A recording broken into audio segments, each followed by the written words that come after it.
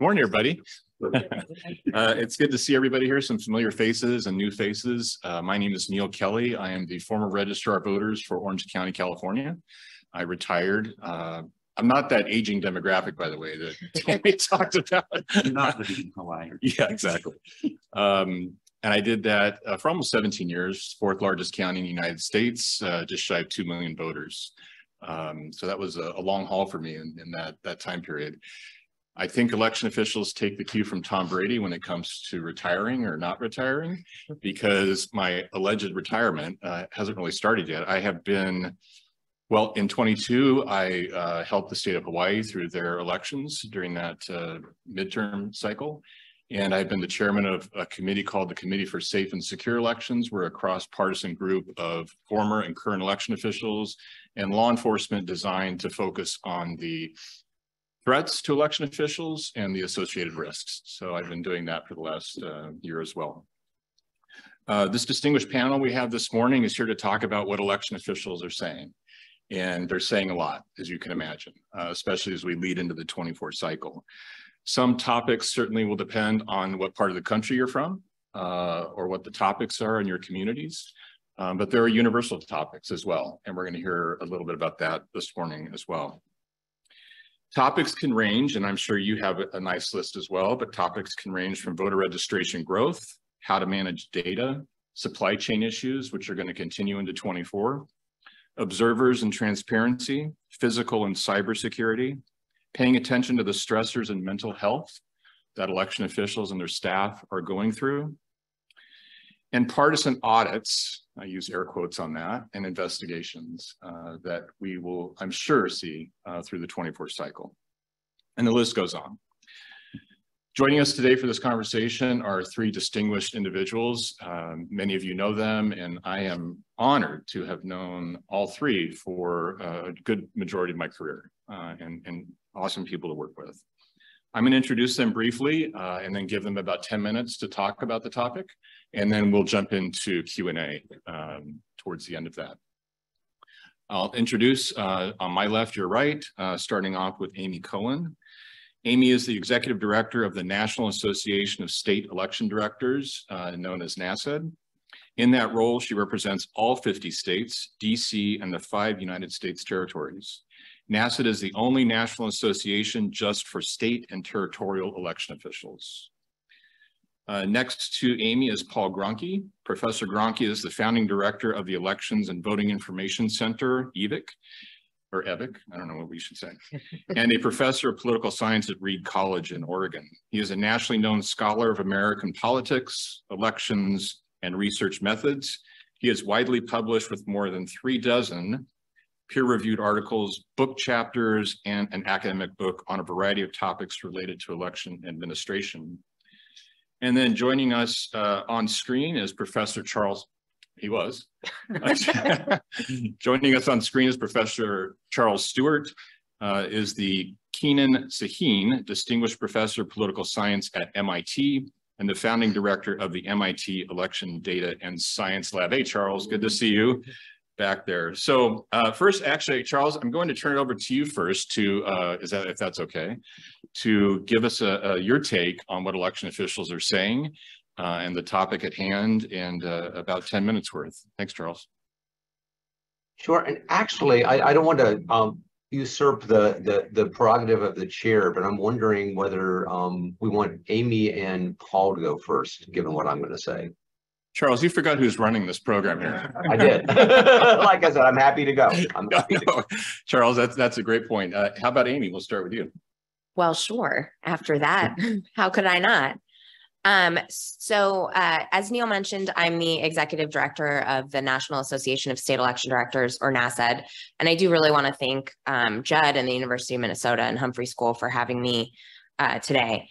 Um, before I sort of dive into what my members are saying, I'll sort of explain who my members are because not everyone, uh, it doesn't make sense to everyone. Um, so in the 40 states where a secretary of state or lieutenant governor serves as the chief election official, the member on my roster works for the chief election official. Um, so that includes Minnesota and uh, David Maeda, the director of elections is here today. Um, in the other 10 states, DC and the five US territories, NASED's member is the chief election official. And these are typically states that have the board, a board model. So the North Carolina State Board of Elections, because Tammy was using North Carolina uh, as an example. Um, but what that means is that I cover all 50 states, DC, and the five US territories. That's a lot of ground to cover, right? That's American Samoa and Guam to California and Texas, and quite literally everyone in between. And so I hear a lot from a lot of people um, all of the time. Um, NASED doesn't uh, do some of the things that Judd was talking about that some of the state associations do. Um, we don't take positions on issues. Um, we don't lobby. Um, and we really are an association that uh, supports our members by helping them share information across the states, helping the federal government share information more effectively with uh, the states and territories, something that has grown increasingly important uh, in the wake of the critical infrastructure designation in February 2017.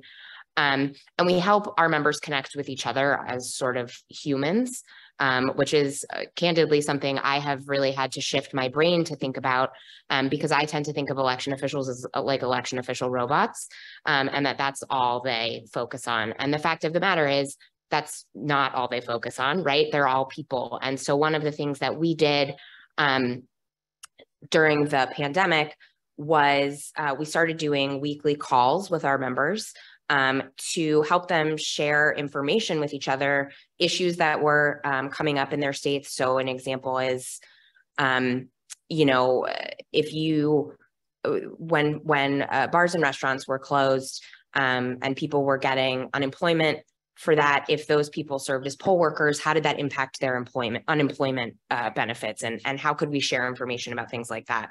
Um, but it also really turned into supporting each other as people um, and helping everyone sort of cope through a presidential election, which is always really hard and is sort of a, a benchmark in our fields of when people start thinking about retirement anyway.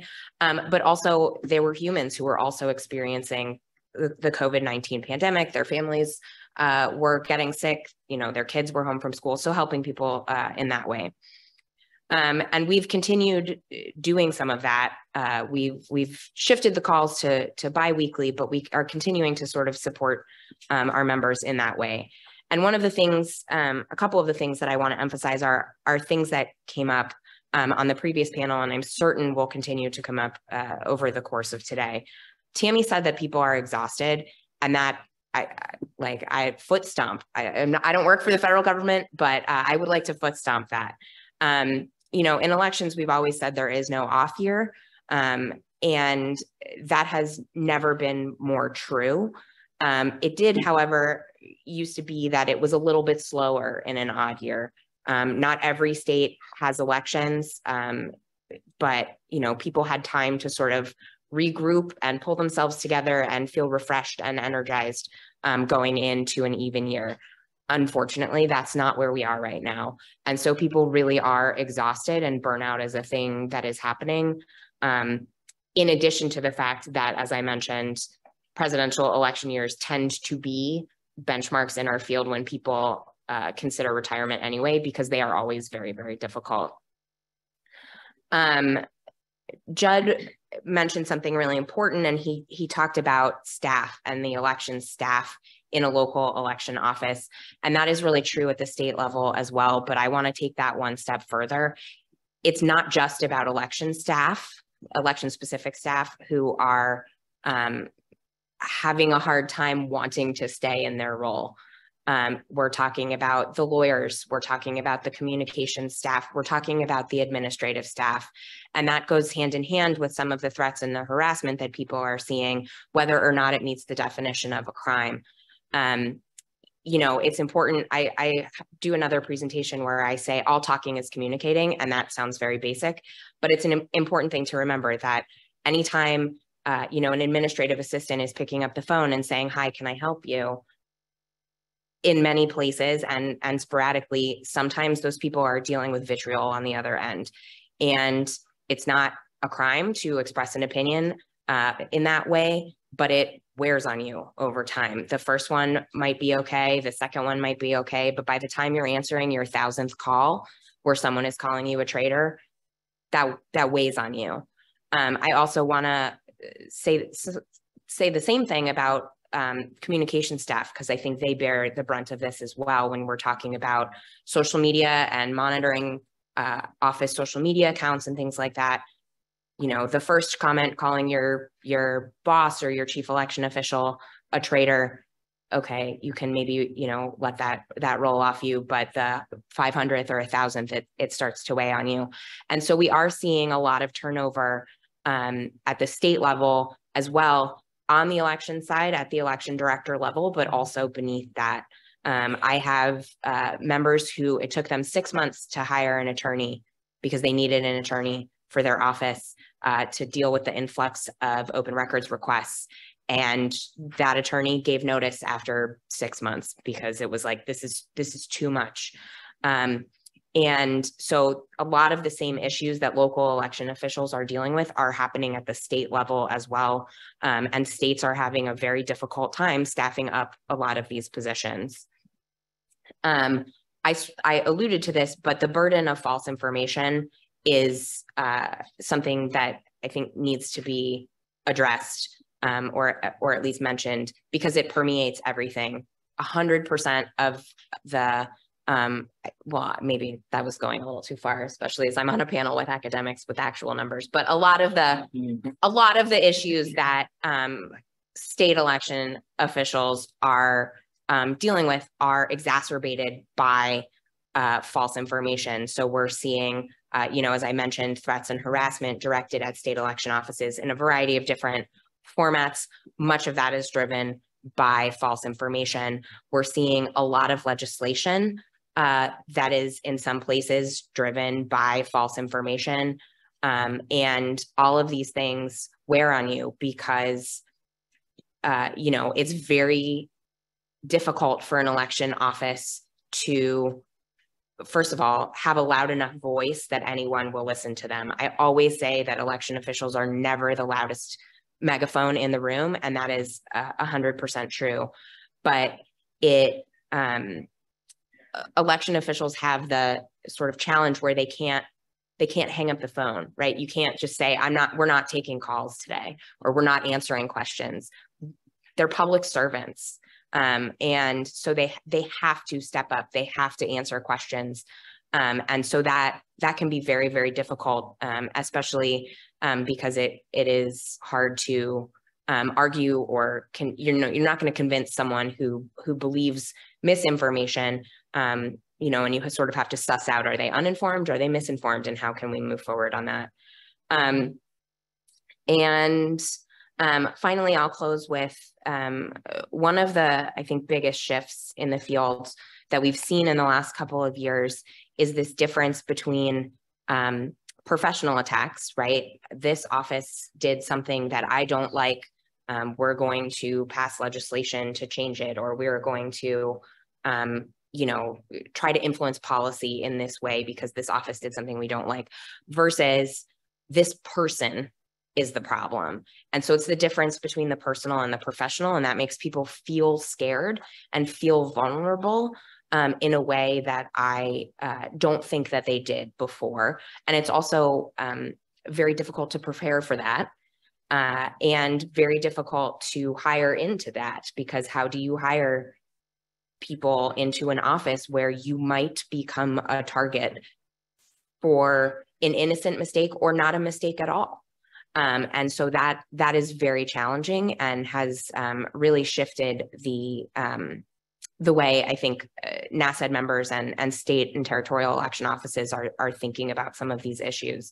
I know that was like very gloom and doom, but I do want to say that one of the things I'm very proud of is this fact that NASED has really worked hard over the last several years at building a community among our members so that they have a person in another state who really truly understands what they're going through because these jobs are so weird. It's very difficult to explain an election office job to someone who has never done it. Um, and so um, we worked really hard at building that community, and it's something I'm very proud of. And I hope that um, I hope it's paying off for my members. I get the sense that it is, um, but it's definitely something that we're planning to continue. Weird is an understatement. Amy, thank you for your work in this space and everything that you do. It's, it's, it's incredible, uh, the work that you do. And also you've teed up some great stuff for the questions. So thank you. Professor Gronke. Uh, thank you, Neal. And thanks to um, the Humphrey School and Larry Jacobs, who I've known for uh, many years. You know, Judd mentioned at the beginning that um, Judd Choate mentioned that election administration is kind of a sleepy backwater uh, in state and local government, and, and now it's not anymore. I, I, will say, reflecting on this as a scholar, that it's also been something of a sleepy backwater in, in the academic sphere. Charles Stewart, who's here, um, myself, and we we leaned in as many scholars did after 2000, uh, but unfortunately by 2004, 2005, a lot of those folks leaned somewhere else. Some of us are still in there swinging. Um, and I'm glad to see that I'm glad that the University of Minnesota has continued to support this program. It really is important that we have more scholarly attention here. So we begin to um, train students, expose new generations, um, begin to develop um, a, a, new cadre of individuals. You know, some people are going to be retiring simply because it's time to retire, um, but we got to have somebody to replace them. Um, I also want to echo what Amy Cohen said about the human element of this. Uh, you're going to see in my slides some presentations, some surveys that we have been conducting um, through EVIC for the last four years. And when I initially started this project, one of the things I described was we want to do the human element, the human side of election administration. We don't want to replicate uh, the election administration and voting uh, survey, which is very important, which is really sort of an accounting report. We want to allow election administrators to express their attitudes and opinions about election administration in really sort of a safe space with a confidential instrument. Um, and that, that was really valuable we've learned so much. I, I, you know, I learn so much every day when I come to these kinds of things, communities, network supports. These are things we need to know a lot more about and really support um, amongst these communities. The earlier wave of work on election administration did reflect sort of how Amy described it as the election administrator is a cog in a system, um, but they're also human beings and the human element is really important. So can we um, get my deck up and let me see if I can advance this. Let's see if the range works here.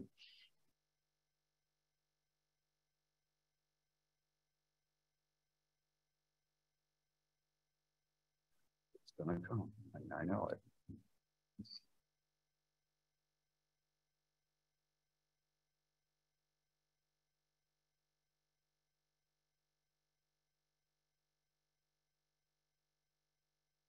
Perfect. Thanks so much. So um, what I'm going to talk to you about today is really briefly um, in my 10 minute time, um, uh, review research um, primarily from uh, a 2022 uh, study survey that uh, we conducted at EVIC. I'm going to make some references to, um, okay, so that's good. That's back. So that's like about slide. Yeah, keep going backwards, backwards. Yep, backwards, backwards, backwards. I'm going the wrong way. Hold on. Ah, I see. Up is down. Excellent. Okay. Um, so we uh, have been serving election administrations nationwide since 2018 um, with my colleagues at EVIC. Uh, Dr. Paul Manson, uh, Michelle Schaefer has provided us some support. So I'm going to talk a little bit about um, the results of that survey. I'm also going to try not to be completely doom and gloom, though, with Neal here and the sunny state of Hawaii. I figure we have to have a little darkness and clouds. You know, it's still winter in Portland, it feels like at times. Uh, so let me see if I got this, if this is working. Go, forward me. Go, just hit it forward. So I'm going to start a little bit um, with workforce and staffing challenges. And let me see if it'll advance. Good. So um, this is one thing that I have to show to every audience. I know many of the viewers um, online and folks in the audience will understand this, but really the diversity of, of the workforce and staffing challenges in offices is just really fundamental. Um, that there are uh, dramatic differences across the largest jurisdictions in the United States and of course those small jurisdictions. Most elected, a typical election official in the United States serves at an office um, with two to three additional staff members surrounding them. Um, and, you know, they don't really have much support under COVID situations, other, other kinds of challenges, even challenges like sending someone off to training. They may not be able to do it because there's really nobody to cover. Um, as anyone who works in this space knows, um, recording has to go on every, you know, those property transactions have to be recorded. You can't just close the office on a Friday because somebody's coming in to close property. Uh, so that's really important to understand as we think about supporting this community and advancing the community. We have to support those mid-sized and smaller sized jurisdictions that um, are facing real staffing challenges.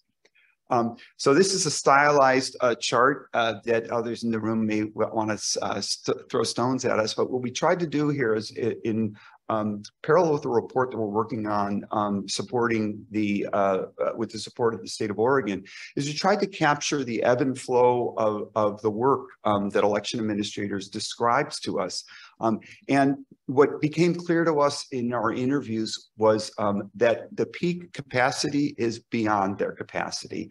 Um, that if that, you know, the, the, the line that we drew, kind of the A, you know, the B line at the bottom is kind of the normal workflow. Um, at least in the state of Oregon, I expect in other vote by mail states, there is a peak that occurs in the kind of ballot preparation period that really expands that you have to proof these ballots, you have to get them out, you have to get them printed and returned. And that often we find um, officials telling us this is now, this is not a month before the election. This is six to nine months before the election. And they tell us that they're beyond the capacity of their normal workforce. And this is not a period where they're going to be bringing in temp staff normally, right? This is, you know, this is January and February of a normal election year. Then there's some downtime, but then there's that flow that comes in again and really expands. And we'll have officials telling us um, you know, that they are working well beyond the normal capacity of their office. They're coming in uh, on the weekends, they're coming in after hours.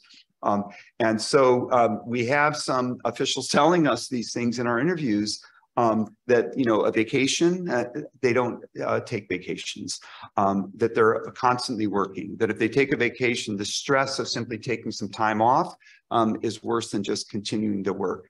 Um, you know, we have parents telling us that, um, and primarily this is a 75% uh, female staffed profession, telling us, um, I'm a mom, except during the election year when somebody else is a mom. And these are, you know, these are hard things to hear from officials as they're describing this environment to us.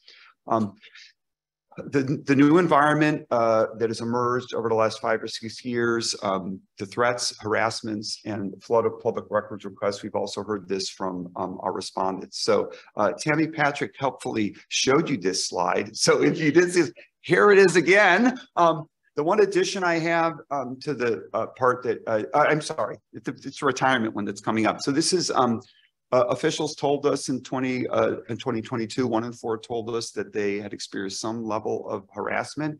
And you know, there's not a lot of bipartisanship in uh, today's political environment, but this is one area that we can get agreement on. Republicans, Democrats, females, males, large jurisdictions, small jurisdictions, they all get threats and harassments. Now, there are some patterns that we can extract from the data. There seems to be more um, threats and harassments in Republican leaning areas and in larger jurisdictions. But in general, this is endemic in the community and it's experienced. And it's not, as Amy said, it's not just the directors that are experiencing this, it's folks in their day-to-day -day lives. Uh, in some of our personal interviews, people say, well, I don't share what I do uh, about my job anymore because I don't know what I'm going to encounter in the grocery store or in a tavern. Um, so again, um, uh, folks will tell us that this uh, the threats and harassments is seriously distracting from their ability to do their job, um, that the constant efforts to counter misinformation, um, it, it, you know, somebody heard something somewhere is uh, distracting from their ability to do their work. Um, I'm sorry for some of these uh, quotes that are coming up. Um, we have officials telling us about they've had to learn how to do active shooter training on top of learning how to manage viruses, on top of learning how to do LinkedIn or to do TikTok videos that um, it, it's sort of hard to keep up. And um, we were talking about this last night at dinner. Uh, some of these offices are in locations where they weren't set up to have two exits and bulletproof glass that, you know, they're not set up for that. Um, and again, this is just has just been layered on as a new layer uh, area of expertise that officials have had to, to master. Um, I'm going to start with a little bit of the good um, and then go into bad and the ugly. On the ugly, you'll see Tammy's uh, slide uh, picture again. Um, we do see high levels of job satisfaction. This has been quite consistent across our surveys from 2018 up to 2022. Some erosions after 2020, uh, but generally three quarters to 80, 85% of officials tell us they do enjoy their jobs. Uh, they do have a sense of personal accomplishment. You've heard this if you talk with officials, this kind of active day-to-day -day element of this work, um, they really find rewarding. Uh, customer service orientation, um, it has been embraced in the profession. I, I think we, we haven't been measuring this back to the two thousands, but I do think the, uh, the PCA and other, uh, many folks in this room who I've worked with, um, for ten or fifteen years, some of them, I think this has been a change in the profession, this sort of embrace, embracing uh, professionalism, just really kind of openly. And when Tammy was describing, I, I quickly went on the LinkedIn and I searched for the number of officials who listed CERA. Top of the list was Tammy Patrick, Dina Dawson, who might be listening, Denver County, there it is, CERA, Jay Hatfield in Shawnee County, Kansas, there, right there is CERA. I will say to uh, Tammy that there's about 50 out there that mention the full certificate name. Um, I do think that it, it would be encouraging, and I encourage her to try to, uh, as her graduates and others, mention CERA up there, right up on the name. Don't mention it down in the certificate category of uh, LinkedIn, but put it right up there, uh, just like PhD. Uh, Michelle Schaefer, I work with, you know, uh, uh, uh, professors are often a bit embarrassed to put PhD after their names, and and, and Michelle's like, no, uh, you got to put PhD out there. That sends something to the community outside of academia to put that PhD. Same with CERA. It describes that kind of certification. It becomes an, an acknowledgement of the expertise that you've gained. Um, the bad, um, well, one of the bads that we hear a lot, we've heard this quite consistently, is that um, legislators, uh, maybe election directors in Colorado, no, not there. Change is really fast. Um, change is occurring quickly, and at least um, when we ask um, election officials, local officials about whether some of these legislative changes are helpful, um, the majority say they're not. Um, change is occurring very quickly. Often these changes are not funded. Um, so there are new mandates um, without uh, the money here. So election uh, officials tell us that quite consistently. Uh, the, you saw this from Tammy already. Workloads are increasing across the board. They're stretching the capacity. We have far too many officials telling us that they um, are considering retirements and these retirements are accelerating. There's a, a great loss of expertise and institutional knowledge in the field. Um, so I do want to uh, close by uh, just briefly reviewing where we've been and give you a tool uh, to look at some of these data on your own. Um, so there we go. So um, the work here was supported uh, with a partnership and collaboration with Democracy Fund um, for its first four years. We have um, evolved and developed the survey to adapt to what we view and what we hear from audiences like this about the current needs of the community. Our uh, election year surveys tend to focus on readiness. Um, obviously in 2020, for example, we did a deep dive into uh, COVID preparations and how that impacted. In the off years, we have tended to focus on um, workforce issues, staffing, um, uh, uh, retirement, succession planning, these kinds of things. I will say in 2023, we are focusing on what we will call resilience. Um, uh, we're doing deep dives in the instrument. Uh, we are now being supported by the MIT um, Election Data Science Lab. Thank you, Charles, for that support. I mean, we're looking at recruitment training um, and, and workforce issues. As I mentioned already, we are in the final stage of um, an interview project that we've done with the support of the state of Oregon. There'll be um, we may be able to be presenting that in some summer conferences, um, but we're really excited about that work. Many of the quotes you've seen here have come directly from that uh, project. Um, this is where our website is, evic.reed.edu. And what I want to show you here is that survey. You may not be able to see that well, but um, this is from that page. And we have the uh, descriptive statistics in the code book from each year of our survey now you could navigate through. So for example, Amy can't see this in the back of the room. So we have evaluations of state associations. There's a whole series of those. So um, you could do a deep dive into that. I know I'll show you that later, um, but it's fairly easy to navigate. We have these data uh, publicly broken down by jurisdiction size. We can do some additional analyses if you reach out to us, but that we're trying to make the data as available as we can while maintaining the confidentially confidentiality of our, of our respondent pool. Um, so this is our uh, website and my contact information. Uh, my colleagues at EVIC, if you have any more questions, I want to do any follow-ups, uh, we welcome hearing from you. Thank you so much, Paul. And thank you for everything that you do in the industry as well. You know, you were talking about the job satisfaction surveys, and I, it struck me that I, I recalled your surveys coming in a little bit after the, the certification of the election. And it made me think of a interview with Steven Spielberg one time when he said, after a movie wraps, he never wants to make another movie ever again. I feel kind of the same way with elections a little bit. Um, and after you get away from the pain of that, then the job satisfaction creeps back in. So um, thank you again. Professor Stewart. Excuse me. Um, thanks, Neal, and um, thanks to the Humphrey School for sponsoring this and for everybody on the call um, today. I'm sorry I can't be there. I'm um, unlike Professor Gronke, apparently, um, I teach students. Um, and I have a um, right after this seminar. Otherwise, I would love to be there. In part, I mean, for um, for reasons that have been touched on by both Amy and Paul, that um, you know this really is a community, and it's a rich community and a growing rich community of election officials supporting each other. But it's also a larger ecosystem of um, um, of people who see themselves as helping election officials and working with election officials. And over the last 20 years, that community has grown as well. And whenever I can be with election officials and people who support them, um, that's my happy space. And so um, I would rather be in Minnesota than um, in the seminar room. And I'm, and I'm, sorry I can't be there um, um, today. So um, what I'm going to talk about, and I'm going to, I hope I'll be able to share my screen in just a second, is is different from what Amy and Paul have talked about. I'm going to turn the lens around of the camera. And so Amy and Paul have, from their experience, been able to talk compellingly about the experience of state, state officials and local election officials, um, both over time and in the particular moment.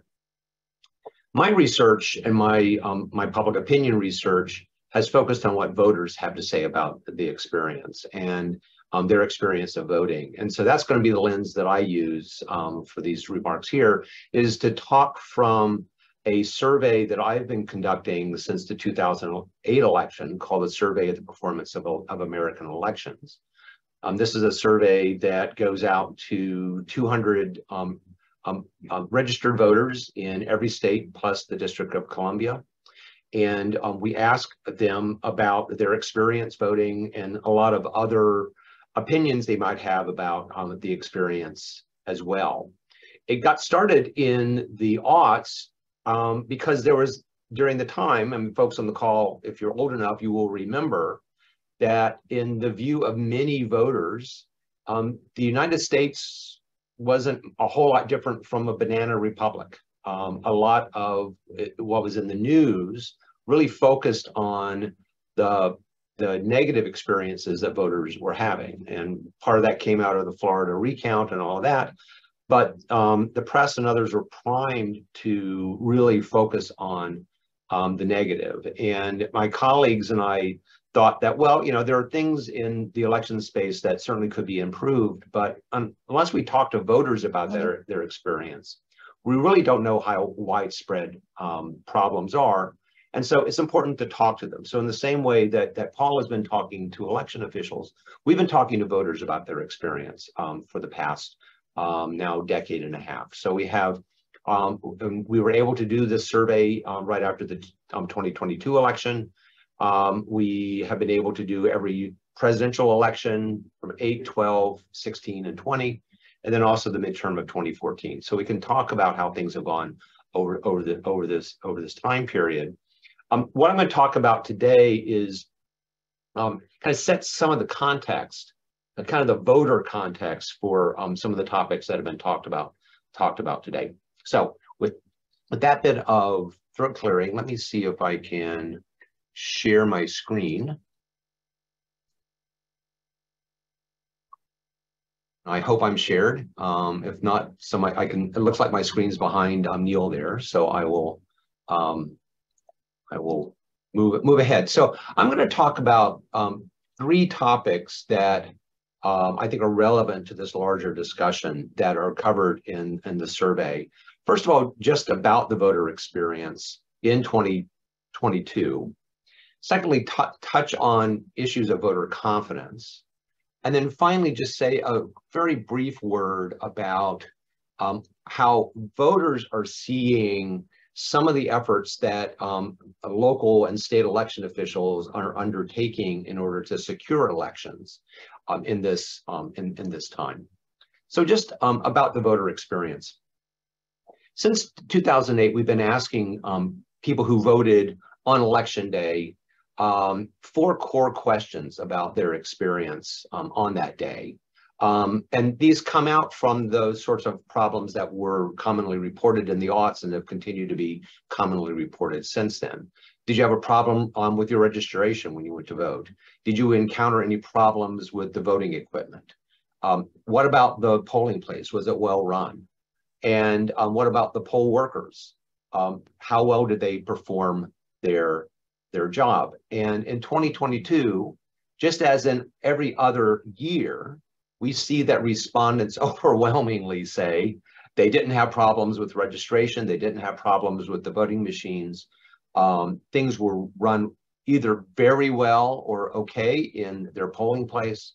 And the job performance, 95% of voters said the job performance of the poll workers was either excellent or good. So this is not an electorate that is, this is not an electorate voting in, in, a, in, a, in a banana republic. This is not an electorate that is having a bad experience when they go to vote on election day. Um, same sorts of answers um, come from people who voted by mail. Um, we asked if they had problems getting their ballot, problems marking the ballot, problems following the instructions on the ballot. And um, again, overwhelmingly, voters report ease in getting the ballot, marking the ballot. And um, most say that the instructions were very easy um, to follow, either very easy or, or somewhat easy to follow. Um, all this comes together when we ask voters their overall um, trust and whether their vote was um, counted as they intended. This is the question that we've asked, similar to questions that are asked by other pollsters. Um, regardless of how you ask the question exactly, you get the same general answers. And in 2022, when we asked um, people if they were confident that their vote was counted as they intended, um, election day, early voting, and mail um, um, voting voters all overwhelmingly said that they were either very confident or somewhat confident that their vote, um, their vote was counted. So the actual experience of voters, and I think this is important to, to you know, to, as we try to understand the larger context in which election officials are having um, you know, are facing real challenges from certain segments of society. That when we think about the blocking and tackling, the everyday work of election officials, their customers, if you will, um, continue to notice that the elections are being um, um, pulled off um, really, really well and at a high degree of excellence. And um, but let's turn our attention and and and, and just um, um, say a few more things about voter confidence in general. In 2022, um, we asked, as we have in these other years, how confident are you that not only was your vote counted as intended, but votes in your county or city, in your state, or votes nationwide? And as this um, as this graph indicates, that the further away from the voter one gets, um, the less confident voters are overall about the conduct of the election. Although even nationwide, which is the most um, remo removed from voters, still um, almost 70% of voters in 2022 said that they were either very or somewhat confident that votes nationwide were counted as they were intended. Now, we all know that there's been a, a growing partisan divide in, um, in, in answers about voter confidence. Um, one of the things I should note is that this divide, while it is has grown a little bit in recent years at the local level, when we look at Democrats and Republicans and how confident they are in um, local election administration, we see what is known in political science and has been known for decades is the winner and loser effect. That when your party wins, you tend to, you know, think better of the process than when your party loses. Nonetheless, in recent years, as um, you know, Republicans, for instance, have lost, um, you know, say the 2020 election, um, the degree of dissatisfaction among Republicans um, basically dropped back down to where it had been in 2012, the last time a Republican presidential candidate had lost. So these gaps, um, these partisan gaps at the local level are um, kind of within scope of what we've seen in the recent past in prior elections before we were worried, for instance, about election denialism. However, when we get further and further away from the voters' experience and voters are listening to not their own experience, but that of neighbors or the media or you know, you know um, political candidates through the media, we see even great, we see increasingly great divides. Um, when we ask people about, for instance, do they trust elections in their state? A big divide. And then when um, we ask, um, do you trust elections nationwide? The election nationwide, um, there's about a 50 point gap in 2020 in the partisan gap over, over trust in the election outcome. That 50 point gap, by the way, being a narrowing of the gap from what it was in 2020. Okay, so um, to return to the state level um, trust, one of the one of the important things to understand about trust of the voters in the process is um, to return back to this kind of winner and loser effect. Um, if we had looked state by state in 2016, um, we would have seen that in red states, Republicans were happier than Democrats. In blue states, Democrats were happier than Republicans. In purple states, it was kind of a mix. And that's what this graph shows. It's a hard graph to read. The important thing to note, what this graph shows is for every state, um, the blue dot is um, how confident Democrats were about elections in the state, and the red dot is how confident Republicans were. So this is 2016. The states at the top where Republicans are more confident are, are the red states. States at the bottom where the Democrats are more confident are the blue states. Okay. 2020 was different from anything that we I've ever seen, in which everywhere um, Democrats were more confident than, than Republicans, and oftentimes by a big margin.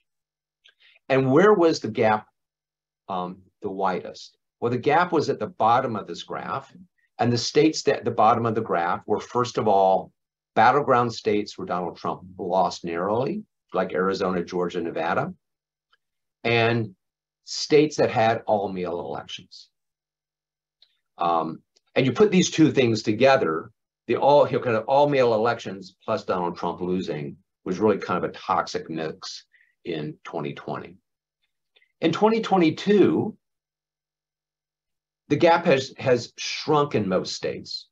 So this partisan gap has shrunk in most states, with a couple of exceptions.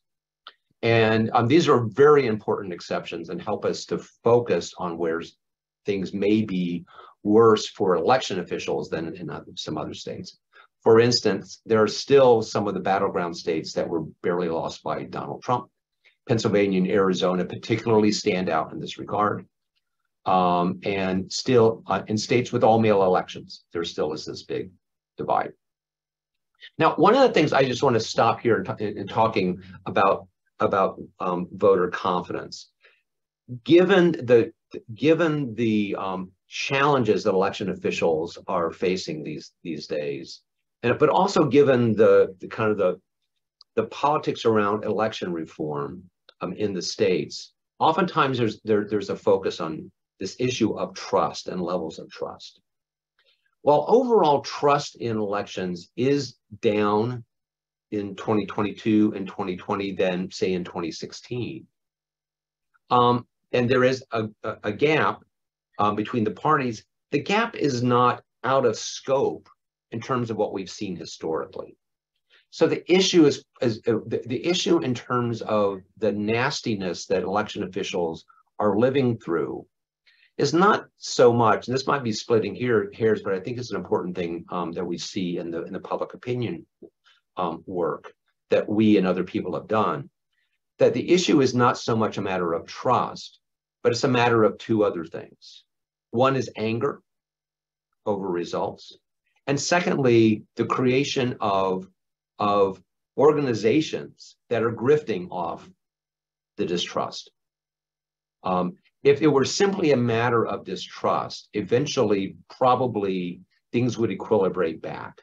But now we have a different thing. And that is we have people in civil society who are not only fomenting distrust, but finding people who are particularly angry about elections are going out in the hustings are having seminars where they're convincing people that they should be angry and that they should act on that anger. And by the way, buy my pillow or my book out in the lobby.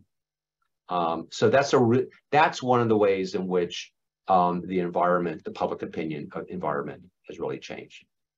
Now, um, I will end by kind of shifting and note that, you know, election officials uh, are dealing with a lot.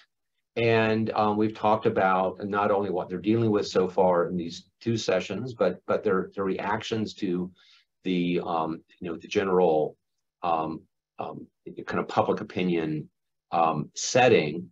One of the things that hasn't been talked about so much um, today, but I know is going to be talked about later on, is what election officials are doing to you know demonstrate to the public that they are in fact securing elections um, and making them secure and trustworthy. For the first time in 2022, we asked respondents to the SPAE whether they knew about various very common activities that election officials undertake in order to make elections more trustworthy, ranging from logic and accuracy testing, nonpartisan poll workers, to wargaming out um, and tabletop exercises um, dealing with cyber threats. One of the things we discovered in the survey is that voters actually don't know about these things. Um, about 40% of voters say they they claim they know, and there are reasons actually to doubt whether they really know. But 40% only 40% claim they know that election officials conduct logic and accuracy testing. And that is the most common thing that they claim they know. All these other things, like making sure there's a chain of custody for ballots, having nonpartisan and partisan poll work, watchers, um, pro prosecuting fraud, election fraud, these are things that voters don't know about. However, when we ask them what would increase, which of these would increase um, your confidence in election outcomes. Um, all of them would increase um, um, confidence, but particularly the most common of the activities, like logic and accuracy testing and um, securing paper ballots, et cetera.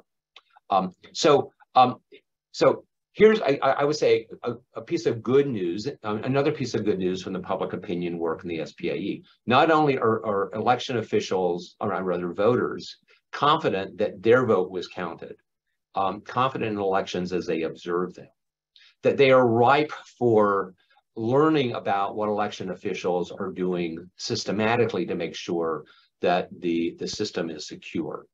Um, and on that, I'll, I, I'll, I'll just, I, I, will end there and um, yeah, I'll end there and I'm happy to um, engage in the Q&A and discussion. That was the cue, Charles. That was Neal. Thank you. Uh, Charles, thank you so much. I had the honor of serving with Charles for nearly a year on the National Academy of Sciences Voting Committee and have learned so much from you throughout the years. So thank you so much. We have a ton of good questions and I was told I could eat a little bit into the break. Don't shoot the messenger. Um, but we'll do that uh, because I think these are excellent questions to get to. And before we get to some individual questions, I have a question for all of you.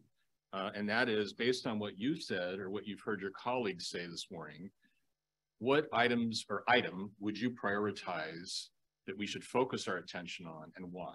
And I'd love to start with Amy and we'll go to Paul and then Charles. So I don't know exactly who we is in this scenario, but I will say false false information for me is the the top issue because we're seeing it permeate literally everything, right? We see that in the results of Paul's survey. We see that in the results of Charles's survey. And it is sort of an intractable problem because, you know, I said election officials don't have the loudest megaphone. I think you see that very, very clearly in the last slide that Charles showed before he um, caused me to leap out of my skin. um, and um, you know, election officials are doing what they can to message a lot of this stuff and to dem uh, to promote themselves as experts and their offices as the source for accurate, reliable, trustworthy information about elections. but no one is listening to us. No one, no one is listening. And that is a very difficult uh, problem to solve. Um, and so if anyone has ideas, I think we're all sort of open to that. But for me, that that is just the absolute number one challenge um, because it is impacting the way voters experience elections and think about elections, and it is impacting the way election officials uh, experience their jobs and administer their jobs and the policy frameworks that surround them. Awesome. Thank you, Amy. And the clarification of we is the election committee. So that, that's my thought there. Paul. Well, that's good, Neal. I was gonna give a two-part answer, so on the, I'll give, uh, I'll speak to my own community, frankly. Um, this is happening, I think, election administration and the scholarly work needs to penetrate more deeply across different disciplines. Um, it primarily has a presence in political science, it, it's some in public administration, but it needs to appear- in the computer science textbook, the stats books, Charles and I, others, we need to do that hard work. Um, so that, uh, students are just exposed to, uh, this area of study. Um, you open up a computer science or stats book and you'll find lots of examples and election examples aren't there yet. And we need to mainstream this work just so people see it. Um, related to that, I guess, guess we'd say on the work that we've been doing, I, I think one of the, um, uh, areas where work can be done is, I guess I would say at the mid-level hiring area. What we found in our work in Oregon, as well as um, I expect we're going to learn, we're going to be asking the survey in the next month, is that folks don't know what the benefits are of working in this space. They only know what the negatives are. And what we found, for example, in Oregon is that literally the benefits, meaning the non-salary benefits, young folks just don't know that. And to the degree that, that the positive aspects of the job can be conveyed, the excitement that the change is a good thing, the kind of just the engagement with the community, I think, um, you know, we have to get, we have to, um, make sure that people see this as an attractive, um, career path. Excellent. Thank you, Paul. Charles. Thanks. I, I, I, I, um, support what my, my two colleagues have said. I guess, um, in terms of prioritizing, um, I would, my sense right now, um, I, I totally, I, I, uh, what Amy said, um, at, at the beginning of her answer about mis and disinformation as being kind of the big thing. Um, I hear that a lot and I, I believe it. It's true. I mean, it, it is totally true. The, the, the challenge is that we don't know what works, if anything. And in fact, I think I'm coming to the view as I read the, the, politi- the political science and communications work, not only in elections, but in other areas that share with elections in public health, and public safety, um, and climate change. There's, it's not just elections where um, minds are hard to change. And intuitive strategies to try to deal with that sometimes, oftentimes backfire. And so one prior one priority is just to understand what we need to be doing and, and get better at it. Having said, and and um, the the priority then becomes what we do know is that um, a bad election, those few voters who have a bad experience don't trust elections. Those one, two, three, four percent don't trust elections. And so I would come around. I know it's hard. I know it's demoralizing um, um, to be uh, under the assault right now um, in many places. Um, but what election officials have under their control of more often than not is how well the election is run. And the blocking and tackling of elections is the one thing that election officials are good at doing. And getting better at doing that is something under the control of election officials. And so um, so I would I would encourage continuing to prioritize running really good elections. And let's figure out together um, how we get this communications thing down. Excellent responses from all three. Thank you. We're going to end here with a, just a dip into the break with a question for each of you. and I'll start off with Amy. Uh, we don't talk enough, I think, about mental health in this country for a variety of reasons. Um, unfairly, the stigma, I think, associated with that. You talked about the exhaust that your members are feeling, being exhausted. What are members saying about their mental health, or I'll use the term from Tammy, their soul? I'm glad you asked because I really liked the way Tammy phrased that, and I guess uh, Weber County phrase that. Um, here's here's what I'll say. In 2021, at uh, one of our virtual conferences, we did a session on mental health, um, and I invited a um, a psychiatrist from the Defense Health Agency. So from the federal government, works with the Department of Defense. And I was very nervous about this. I said at the beginning, I tend to think of my members as elections robots. Um, and so uh, I tend to think of myself as an elections robot also. And so thinking about mental health in a professional context was very strange for me. And so I was really nervous about how it was going to go. And within 10 minutes, I was getting texts and, and messages from my members about how this was the, the best thing at the entire conference um, because this is a huge issue. Um, and I know that that gentleman this is not his job, but they he went like around the country doing this. Um, so we are seeing more prioritizing, I think, of mental health in election offices because people are realizing more what it means. That doesn't always translate into direct action because I think people don't know how to support their colleagues through some of this stuff. Um, they don't know how to support themselves through some of this stuff. And it is a place where I think that professional associations uh, can play a role um, is helping to bring these resources to um, election officials because it's not just about um, what an individual is experiencing, it's helping manage staff who are experiencing problems. Um, and uh, the the gentleman we brought in from the Defense Health Agency uh, was he talked about we're not alone. Charles references also, you know, we're not alone. This happens a lot in a lot of other fields, but it's about sort of getting back on the field and continuing to play because election officials don't have the opportunity or the option if we're going to stay in this field we don't have the option to sit out an election and there are elections every tuesday um, so I think we're seeing more people prioritize it, but figuring out what prioritizing means and how to put that into action uh, is a challenge. And frankly, I think a place where associations can play a pretty significant role. Awesome. Thank you, Amy.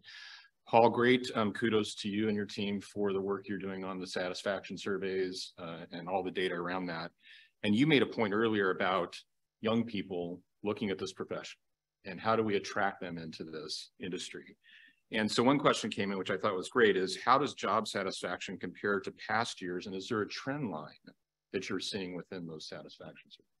Yeah, um, not great. There's some erosion. We have a, um, a, a, a series, my colleague Paul Manson, who um, has a public administration degree, adapted a set of workforce um, job satisfaction questions that we've um, put into the instrument as well as an overall. Many have heard me present on these data before. Uh, election uh, election officials are frustrating um, because you, get them um, aside in a room or, or as Amy said, in, in small group settings, um, which actually we're we're doing more of that kind of work, know, because it really is valuable, and uh, the officials will open up in a way that, um, oddly enough, they won't in a confidential survey instrument. But um, I, I, call it the stiff upper lip um, sort of responses. Yes, yes, we can do it. Um, we can get it done. Um, they they will not uh, describe to us pain points. So we're trying to ask the questions in different ways. So officials will will tell us. So overall job satisfaction remains high. But for example, the number of percentage who will say that they would encourage their child to go into the profession, which is one of those sneaky little questions, um, has has declined. Um, and so there there are uh, the number of people who re, willing to report pain points, stressors, um, other difficulties in the profession um, has increased. Um, we've also been tracking uh, the hours and just to work, and that's been increasing as well. The number of officials just say, you know, the work. So we're we're seeing uh, cracks in the armor, and you're a tough armored profession. Believe me, folks, this is a tough armored profession. Um, but we've got to figure out where those cracks are so that, so that we can help out. Excellent insight. Thank you, Paul. Charles, you're gonna have the last word with the, the last question, two-part question. Um, and, and kudos again to you for the survey work that you do. I, I don't know an election official in the country that doesn't use it at some point, um, throughout their career. How did you decide on two hundred surveys is part one? And are there efforts to expand or any interest in expanding the survey size? Yeah, I mean, wow, very, very geeky um, questions. I'm more, more than happy to, um, um, email with whoever, um, um, whoever asked the question, cstewart@mit.edu. Um, two hundred was chosen so that it, it was a, it- it's kind of the right size that if you do have big effects across states, that you can actually measure them. So, um, and then when you uh, roll up from, you know, two hundred, you have 10,000, 200 per state plus DC, you have ten thousand two hundred which ends up being a, a really large and therefore expensive survey. So the number was trading off um, sample size and cost of doing doing the survey. 200 is a good number. Um, if there's a big difference between states, um, and that was what was um, uh, what was driving it. Um, if someone um, wants to um, give me more money for bigger samples, I will do that. In 2020, in fact, I did um, where we had um, sample sizes of a thousand in nine of the battleground states. Um, so um, sixteen dollars sixteen dollars uh, an interview. Um, you know the price. Yeah, excellent. Uh, sorry, we, we couldn't get to all the questions. We had some great ones coming in, and I do want to extend my thanks to Amy, Paul, and Charles for your excellent insights and a debt of gratitude to Larry and Judd and the Humphrey School for all of the work that you're doing in this amazing conference. Uh, thank you again, and be back at the top of the hour, 12 Central, 1 Eastern, 10 Pacific, or excuse me, 11 Pacific. No, 10 Pacific. Thank you very much.